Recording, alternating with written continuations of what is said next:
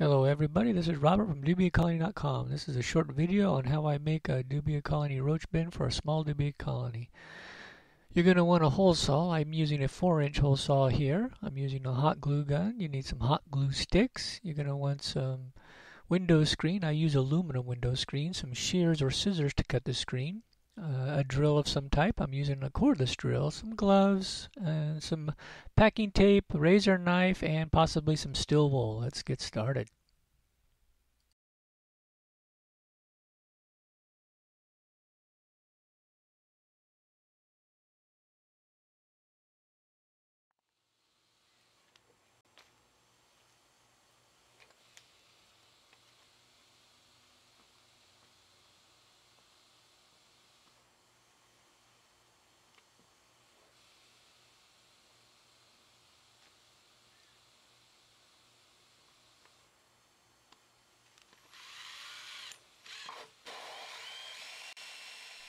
Here I'm drilling out uh, the four holes on the top lid, 4 inch, lining them up with the center letter on the top of the lid, and then I'm uh, cleaning them up here with a razor knife, both the uh, top and bottom side to prepare it for the aluminum screening that I'm going to put on the bottom. I'm also going to uh, scuff it up a little bit on the bottom with some steel wool so the hot glue will stick better through the aluminum screen.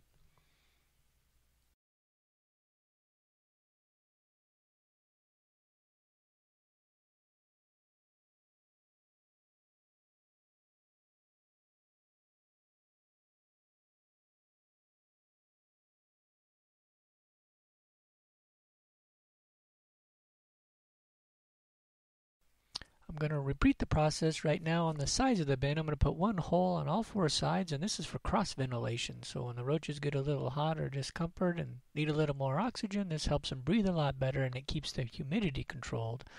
So you don't have those little problems with the pesky little uh, flies flying around in your bin as much. This helps tremendously for this. And I'm going to repeat the process by uh, cleaning it up at the end with a razor knife and using a little bit of steel wool on the inside so the glue will stick better.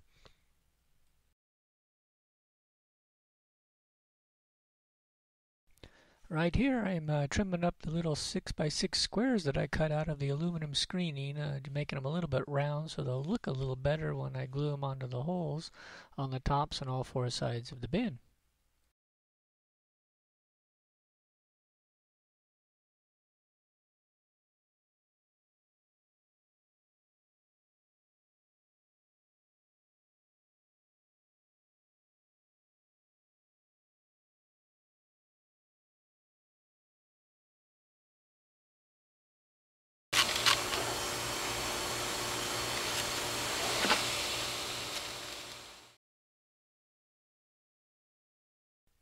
And here I am uh, gluing down my aluminum screen to the uh, plastic bin. I'm using the 4 inch hole saw to uh, line it up and put a little pressure on the screen so it fits a, fits a little bit more flush on the uh, surface.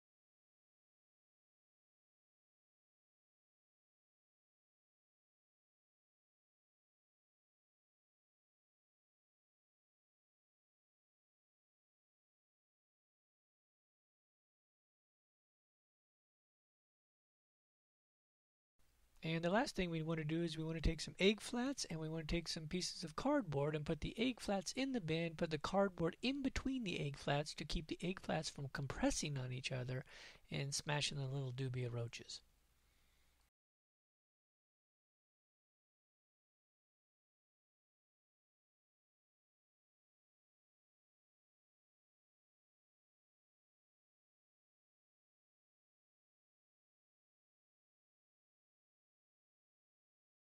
Thank you for watching my first video here on Dubia.com and uh, please rate and subscribe to my link if you like my video and all suggestions, comments, and questions are greatly appreciated. So thank you very much. Have a good day.